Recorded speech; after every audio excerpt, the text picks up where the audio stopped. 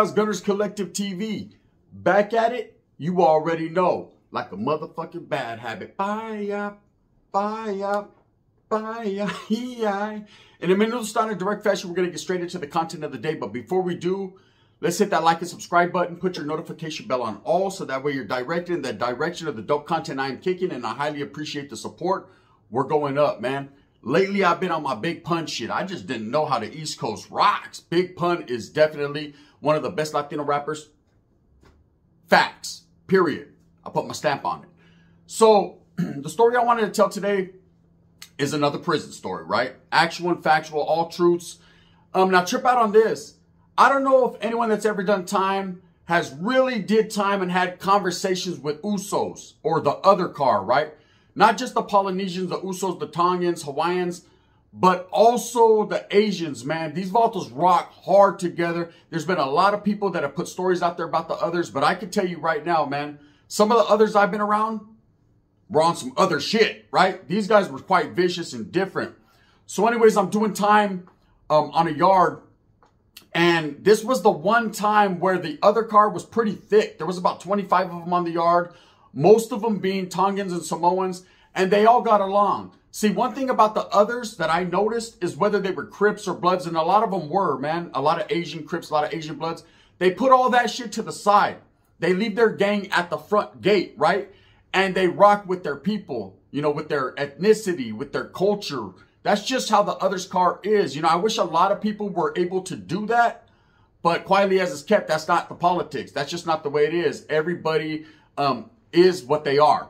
But these guys, a lot of them, albeit some of them get out, get right back to the hood, right back to the blood and the cripping. But for the most part, when they're incarcerated and they're locked up, they don't do that. Now, don't get it twisted. I have seen some Samoans as well as some Tongans and even Asians that, well, not necessarily the Asians. The Asians are going to rock Asian, man. But I have seen some Tongans and Samoans that are Bloods or Crips that decide um, to do that, to rock with the brothers, the blacks, man, still be a blood, still be a crip. Now, it doesn't mean that the ones that left that left that at the gate are not with the program, because these Vatos are definitely with some. they're they're doing their haka whatever it is, right? They're on. Do you smell what the fucking Usos are cooking? They're with that shit. I always was cool with Usos, man. Always cool with big. Uh, I was always. They taught me a little someone. What's up, Sole? Right? I was always cool with them because I understood um, not only were they bigger than a motherfucker, right? But they were such a peaceful and prideful people. And I loved the culture and the way that they treated other people with so much respect. I always thought we could model our game after their game, man. Just the most respectful people that don't fuck around. And everyone knows it. You know, I ain't gonna lie, man. When you first meet a Polynesian person, they're so damn big, you can't even see around them, right? But you're like, okay, damn, this is a beast. He's gonna choke me to death. But really, they're the most quietest, humblest people that will give you the shirt off their back and the food on their plate. You know, I had neighbors that were Tongans, man, and they took care of my family. They made sure that every time they had a little birthday party, they invited or whatever, they come bring plates over, bomb food, right? And all that. So I've always been indebted or had a lot of respect for that, that people, right? Them people, right? Now, I had a lot of respect for those. So anyways, we're sitting down and I'm thinking I'm doing a little four-year bid. It is what it is, man. And I fucked with the Usos tough. I played cards. One of my best pinochle partners uh, was was an Uso, right? And some blood gets there. Okay, he's half black, half Tongan, right? And usually, I'm gonna keep it real. Most of the Tongans I ever met were Crips, right? But this dude happened to be a blood, and so he gets there to the facility, and automatically, like I said, you could choose up. Instead of going with his people, he chooses to go with the brothers, with the blacks, man. And that's his right. You know, he's on some blood shit. Cool. Now, a couple of these Tongans that were there happened to be from this guy's hood. So he would always be hanging around with them. I mean, they're his righteous partners. And one thing about the Polynesian people, they're all like a family, like a big family. You know, hey, what's up, brother? You know, they're all together. So he's hanging out there. So the blacks are kind of looking at him like, hey, what the fuck is it? You're still claiming blood. You're still uh, uh, telling people you're with the program, but you're over there all the time with the others, right? He's fucking busting spreads with the Asians, busting spreads with the Usos, because you know they're all they all rock together, and so they're kind of feeling some type of way. So the Bloods pull him to the side and get at him. They're like, look, they're cool and shit, but bro, you got to choose, man. Either you're gonna be with them or you're gonna be with us, because at this time there was a lightweight little tension over a gambling debt between the biggest fucking Uso you've ever seen in your lifetime, right? Um, shit, they're about to look like Rikishi, fucking con un tang and, everything. He was in that motherfucking yard like, right? So, um, he was beefing with the Bloods, man, and the Bloods were deep there. There was about 40 of them on the yard. Um, this was an ass backward yard. I never seen something like this where the others and the Bloods were the deepest. Even the Southsiders were like, damn, how does this work out, right? North Enders, we're always short, so we're like, whatever. There's about eight of us, right? So anyways, um, and the woods, they're just trying to get in where they, wherever there's coffee, brother, there's woods, right? So now there's this lightweight tension going on between the Bloods and the Usos or the other car, right? And it looks like it might pop off. It all, it comes to words, man. Um, but of course, the Usos being as mellow and, and, and, and cool as they are, they're able to work it out and talk it out, but there's still tension as more blood start to come to the building and start to come to the yard, man, um, they're getting a little bit more peacocked, right? You know, their, their chest is out there. You could tell that they want that smoke, but they're kind of like, ah, I don't know, man. This other car, these Vatos are at a combined weight of 16,000 pounds, right? I don't know if they want that. So what happened is this, um, like I said, that dude is floating back and forth. So he tells the Bloods, nah, I'm blood, man, it's cool. So he starts to hang around with them. Well, something pops off a little skirmish pops off in the school and well, in the trade line, right? So they had these guys that worked in the back. It was kind of like a PIA. They'd go in the back, man, and make garment. They worked for the garment factory. They'd make clothing or whatever, and they got paid good. I was always trying to get back there, but nah, they kept my ass in the kitchen. It's all right. You know what I'm saying? I can steal peanut butter. So anyways, um, something pops off back there, and it's like a two-on-two. Two of the Bloods, two of the Polynesian partners, right? No, it was one Asian and one Polynesian guy, and they go at it they go at it. They, they fucking, there's some smashing going on. So all these guys go to the hole because they popped it off, lose their jobs, whatever. So now the big Uso man is tripping. He was like, damn, that was my brother, man. And, and another little Asian homie, man. And so he goes up to the Bloods like, hey, what's up? I thought everything was cool. I thought you gave your word. We had a respect thing. And they're like, look, whatever any man does in prison, that's on him. That wasn't a blood Uso thing. That was just them. But it really was. It was stemming from the, the animosity that was building. So anyways, that Uso dude, like I said, he said he was blood. He starts to go over there and kick it uh, with the Usos again, right? So now the Bloods are feeling some type of way. So they approach this guy like, hey, if you're going to be blood, if you're going to be really one of us, man, you got to take flight on one of these Asians or these Usos, man, to show what's up. Show that you're not with them. He don't want to do it, right? He don't want to do it. So what he does is he approaches the big Usos and sits down with them and he tells them, look, man, I want to fuck with y'all, eh? Oh, the walls fuck with them blacks, man. They don't, they don't even care. And again, it wasn't that they didn't care, man. They were, this guy was showing, you know, one thing about prison, when you're with your people, you're fucking with your people. No ifs, ands, or buts about it. There is no in between, homes. You know, that's like people that ask me, hey, what if it's a Norteño and he's a white guy? He's not white anymore, eh? He's just fair skinned. He's a Norteño, first and foremost. Same thing, I'm sure, with the Southsiders if they have a black Southsider. He ceases to be black. Yeah, I mean, he's, he's always going to be a brother but he's going to put the South ahead of everything else. You know, you cease to become an ethnicity or race or to be that once you join a gang. You are now that gang. Doesn't matter what color you are, man. That's why most gangs show no color lines because it, it none of that matters. Doesn't matter if you're fucking from Egypt or you look like Mr. Capone riding a camel.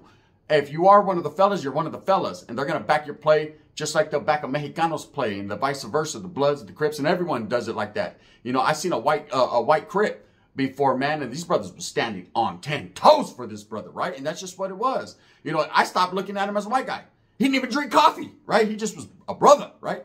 So i can understand what some people think like how does that work out? It works out eh? Everything will work out according to how you wiggle. If you carry yourself with professionalism class and you're really about your business homes doesn't matter what color you are you're going to get respect and respect is key in prison and i've said it a numerous numerous times in so many spills and it's the facts. So anyways, this guy's fucking over there with the Usos, you know, like trying to play on their, their heartstrings. Like, hey, bro, I fucked up. The blacks are tripping. They're trying to pressure me to get off. He tells them their business. So, of course, Usos are not playing. They're like, okay, we're going to move on these Bloods. And we're going to move quite viciously, brother, right? So, of course, it's yard time. You already know what's popping. They already let the Norteños know, man. We were that cool with the others. They're like, hey, we're going to get off. Um, nothing towards you, brothers, but we're going to run up in your area and get off, right? Because they kind of had segregated themselves. Uh, like we were all on the same side of the yard, but they kind of had like segregated themselves in their own little corner. Um, they had a, a, a, fucking table, a concrete table where they used to post up. Had all kinds of shit buried around there. Fucking pineapples, coconuts, knives, cell phones, right? So they would do their thing. Um, and they were cool. I used to mob over there all the time. Like I said, Pinochle was our shit. And so they're like, they gave us the respect. Hey, we're going to pop. They told the Southsiders we're going to pop off with these bloods. And of course, the Southsiders are like, kill them. Kill them, I say. you know what I mean? Get them, right? Um, and the Crips, there wasn't very many of them there on that yard. And the Whites, they're not going to tell them shit anyways because the Woods, brother, as long as it, as long as it doesn't fuck up my heroin connection, right? They ain't tripping. Um, and so they get off on the blacks, on the bloods, right? A particular group. And of course, other non-affiliated blacks and other people do jump in because they think it's like a kind of a racial thing. And so they get off on the yard and a lot of the shit gets shut down. A lot of people don't get caught. A few do, few bloods, few, uh, there was way more bloods, right? They get snatched up. So now the numbers are about even Steven. More bloods got snatched up than Usos and, and Asians, right? Them Asians was in that motherfucker kicking, eh? Right? They was in that motherfucker like just downing blood. Blood was like, oh, right? It was going down. Um, but there was bloods knocking fools on their backs too. That big Uso, he knocked every person out he looked at. That was like, dude was like, right? So it was going down. So the dude who was half black and half Us, he laid it down. Right? I guess he had a change of heart at the very last second. I can't go against the Bloods, but I don't want to go against my people. I'm going to do what I do. Dirt time. So he took a dirt nap. He laid it down. And one thing about prison is, no, you're going to rock, homie. You're going to rock. You started this whole bullshit. This is on you, right? All because he came over and told the Usos that the blacks were feeling some type of way, that they wanted him to move. That's why they did the first move. So now they feel like he should have been on frontline status. He And it's real. That's correct. In prison, if you are the one that's fucking spreading the propaganda, the cheese or you're the one, it's all over you, homie, then you should be the first one to pick up a piece and handle your business. At least that's how we rocked, how Southerners rocked. Everyone rocks like that. They did too. But this guy did it, right? That, that was on this guy. So where I was at, they had weight piles, right? With big old weights. But these weights were welded on to the bars, right? This was uh this was back when they had weights at every prison. All right, like this was not in California. This was in Washington, right? But they had weights in every prison back in the days. These ones had free weights. But like I said, they weren't quite free. They were welded on. Um, so anyways, that dude laid it down. The big Uso's there. So they called a little junta and they're getting at him like, what happened, bro? Why didn't you participate? because the way my blood into my thugging works, right? And he, he's trying to give him excuse after excuse. So of course, he's not going to be a fella but they're not going to let the bloods get out of him too because the bloods are the ones that are still there are telling them, hey, bro, what happened? The word, uh, the curb gets back to them that he told, right? So now these Usos are protecting him, but nothing in life is for free. They, they're trying to give him the benefit of the doubt let him kick it, but at the same time, they're taking every bit of canteen he owns, right? So he's kind of like one of those dudes that no one on the yard trusts him. Every other ethnicity and group is kind of like, hey, that dude's a rata. That dude fucking told he caused all the bullshit. We were slammed down for a week, all because of this guy, right? Um, so nobody likes him. But again, the Usos, man, being the type of people they are, they're kind of protecting him. Okay, so here's the next incident that goes down. So a blood from this guy's hood pops up, sees his homie, big hugs, shoulder shrugs, mean mugs, you know, uh, Game of Thrones thugs, right? They're over there kicking it. And, you know, the Usos are like, hey, come here, bro. What are you doing fucking with them? We already told you, bro. It's, you know, they want to get you. Don't be, don't fall into their plan because they're going to fuck around and, and, and, and spread your whole butt cheek open, right? And vault's like, no, no, this is my friend. You know what I mean? Can he come kick with us? They're like, hell nah. We don't even like the blood, right? They, they, they, it's animosity. It was the animosity the whole time I was on that yard with them. For some reason, like I said, man, it, all, it was all because of what it stemmed from in, originally, right? So, trip out. It, it didn't matter. It was going to go down. So this guy fucking is over there and they keep telling him every time he comes out, he's bringing out canteen and shit. Shit he was supposed to give up to his people because they were taking it from him. He was given to his homie. Now, I can understand blessing your homie with a care package, but every time he's coming out with a couple soups, cookies, zuzus, and wham whams, right? He's looking out. And of course, the Bloods, they're like, yeah, yeah, get that motherfucker, bro. You know what I'm saying? That motherfucker got, hey, that motherfucker got money, right? He did have money. He always went to canteen packages, all that. He, he had shit going on. So anyways, um, the Usos, enough is enough, right? They're like, fuck this dude, bro. You know, we're going to beat up him and his partner, right? Because they be working out together, all that, right? The dude just was stupid, bro. He was a first termer. He didn't listen. He didn't know the game. They try to run him down the politics. In prison, but you got to listen. You're going to mind somebody, right? Guard! Even you bitches, right? So you're gonna mind somebody. It's just the way it was. So um, I remember that day. It was early morning, morning yard, man. Everything, birds were chirping. You know, uh, worms were worming, and uh, hoes were hoeing on the streets. And we are just fucking doing our thing as Norteños, man. We would get our, we'd bust down early in the morning, man, um, and try to be on the alert, right? Now, the Southsiders that were on that yard, there was very few of them. Like I said, I've never been on a yard like this where the North and the South were the minority pretty much. Um, and there was an understanding there. For most part, man, it was it was on site, you know, but they were kind of like doing their thing. We are doing our thing. Um, it was an experiment, right? And anyways, we're kicking it. And these Usos, bro, they don't say nothing. Straight gangsters, bro. They go to the pile and this dude and that black dude are working out, man. There's a few other Bloods, Crips, whatever, some non-affiliates, Muslims. Everyone's doing their little program. Like I said, you can hear the crickets fucking cricketing, right? Nothing was going on. Boom! It smashed, right? When I say it smashed, there was um a curl bar, right? This curl bar probably had about, I don't know, I couldn't lift it, right? it had probably had like 150 pounds on it maybe a little, I thought, I can't curl it. That was big boy shit, right? That was Uso shit and big old brother shit. And the big old white dude that was on the other side of the yard saying, I wonder if the Northerners got any more coffee, right? It was them. Bro, one of these Vatos, an Uso, right? He was a youngster too swole. He picked up that motherfucking bar and crushed that other fucking Tongan dude's head in. Boom! The black dude, they were on him like six Asians. Boom, boom, boom, boom, just rocking him. Hella Bloods came running over like, what is it? Oh, Pablo, what is it? Right? Boom, boom, boom. Another one kicks off, right? But that dude, they they didn't kill him, bro, but they smashed his whole shit from his eye, from his eyelid right here. His eyelid was ripped. From his eyelid all the way back to his ear, it cracked. All that, just crushed it in. Hey, they fucked that dude off. He was never the same. Never the same. He went to another yard, a different facility, man, a medical, like a medical place, and that fool was going that's that was it, man.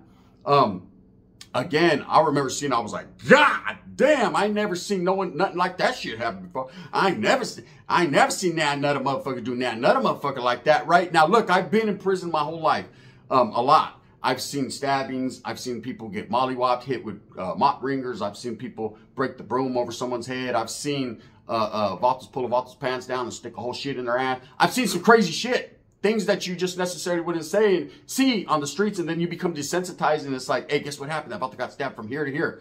Is that right? Did you? Was there any brains and shit on it? Right? It's just it becomes like that. Real talk. I'm not exaggerating. This was different.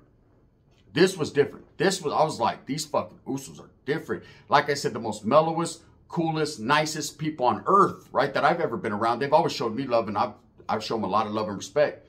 You know, um, they weren't playing, man. You know, and that's a lesson to be learned for people that think they can go into the penitentiary. You think you can go into prison and just think it's the streets. It's not the fucking streets. Okay, it's not.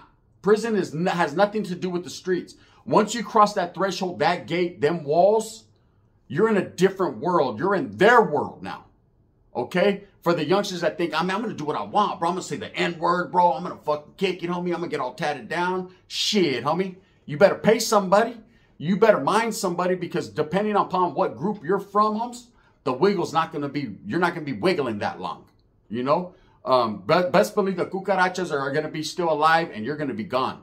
That's how it is in prison. It's all about respect. It's all about your mannerisms um, the way you carry yourself. I don't give a fuck if you was on that skunk and you were all wild on the streets. Homie, you better you better slow that shit down. And if you happen to get involved in the spoon inside and involved in the drug thing, you better not let it get you all weirded out because I'm gonna tell you right now, bro, you're gonna go down quick. Now, again, like I said, I haven't seen very, you know, an Uso got at me and he was like, hey, bro, can you do something on the Usos? I remember the story, so I said, I'll put something out there. I don't know very many incidences that have taken place or that I've seen. I mean, a lot of shit happens um, in a lot of different places. I know the Usos in Utah, man, they're fucking thick, right? Thick community. Um, but in California, not so much. I know in East Palo Alto, what up, rogues? Right back in the days, there was a big group of Tongans out there.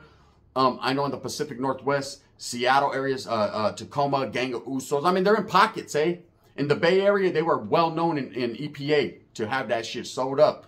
You know, they just got pockets. Um, there's a, a, gang of them in Long Beach. There's a gang of them in Sanjo, SOS, respects, man. Um, and I and I respect these people to the fullest. But like I said, they they ain't the ones to be played with, man. The other car, being the most mellowest and righteous car, just chilling and doing their thing. Yeah, homie. When you get when you try to step on their toenails, homies, they crack back. For reals. Anyways, with that being said, what ends up happening, man, is like that fucking big Uso and a gang of the other ones, man, got rounded up. They got they all got charged for that shit for attempted murder. That guy, like I said, got uh, went to a medical facility. He was on the bubbler like this for a long time. The brother, he just got smashed on, man. He was back on the yard. Um, and the Bloods and Usos ceased all communications. And then um, I ended up paroling. Um, so I don't know how that ended up, right? But everybody was talking about it for a while, like, fuck, gay, they peeled his cabbage back. His shit, his shit looked like Britney Spears pussy. It was all bad. Anyways, with that being said, I hope that you move smooth with a purpose. Get everything that you want coming. And remember, at the end of the day, it's all about the struggle, to strive, to strive, to struggle. I appreciate everybody that's tapped in. I wanted to let you know, man, because a lot of people ain't getting my notifications or anyone's. Um, what you need to do is there's a bell. Put your bell on all instead of personalized. YouTube automatically puts it on personalized. Put it on all so that way you're abreast of all the dope content from all the content creators that you support and that you follow. Um, not just myself, but please handle that. With that being said, thumbs up or thumbs down. Heavy's going to be the head that wears the crown. Again, a, a, word, a wise word by a wise motherfucker to the, it's a word of the wise. Here's some knowledge you can't get in college. For you youngsters or anyone that's never been incarcerated that are thinking or thinking on it to go get locked up, right? And think, ah, I'll be all right. Shit. 10 times out of 10 times, you probably won't. Bang, bang. Gonna gang.